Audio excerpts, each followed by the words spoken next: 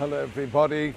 Back in the old days, Hermanus was a fishing hamlet. That's what they did in Hermanus. It was hardly a, a tourist center because uh, tourism was not on people's agenda in those days. It was a small town, uh, not even town, small village with people who were very down to earth.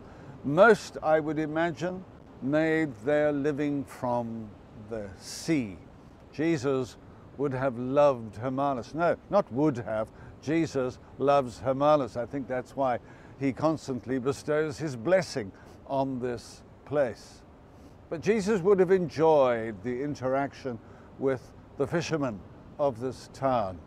Um, he certainly enjoyed the company of fishermen when he was on earth. In fact, the first four disciples that Jesus called to follow him were all fishermen.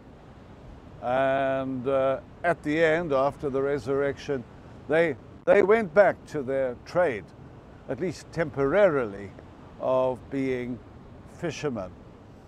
Follow me, said Jesus to, to these men, uh, rugged men. There must have been something very appealing, something down to earth, no frills. I don't know any fisherman who has frills, just good, solid men and women, I might add, who enjoy the sea, the fresh air, and the, the open air way of, of living.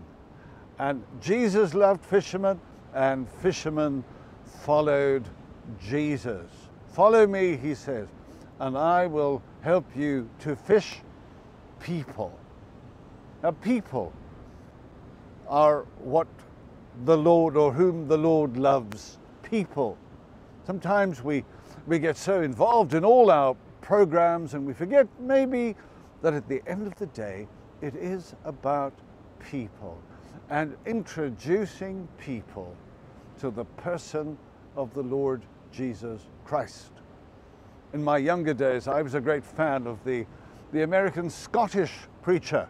He was a Scot who spent a lot of his life in America, Peter Marshall. He preached very good sermons. And there was a book of his sermons once published called Mr. Jones, Meet the Master.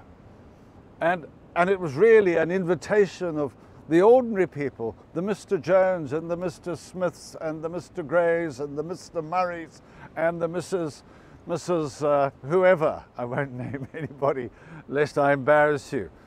But just come and meet Jesus. And Jesus uses the metaphor of, of fishing, like you put your, your line into the sea and you work carefully as to what, what is the bait going to be and how it's going to draw whatever fish towards your line. And, and Jesus wants us to be, in a way, like that. People who introduce others to Jesus. Is there an attractiveness about your faith? Is there a, a, a, beauty about the way you go about your life? Are you somebody who, who attracts people to Jesus? May that be a thought for you to reflect upon today. Follow me, says Jesus, not just to Peter and to Andrew. But he says it to you and to me follow me, follow me, and I will make you fishers of people. God be with you.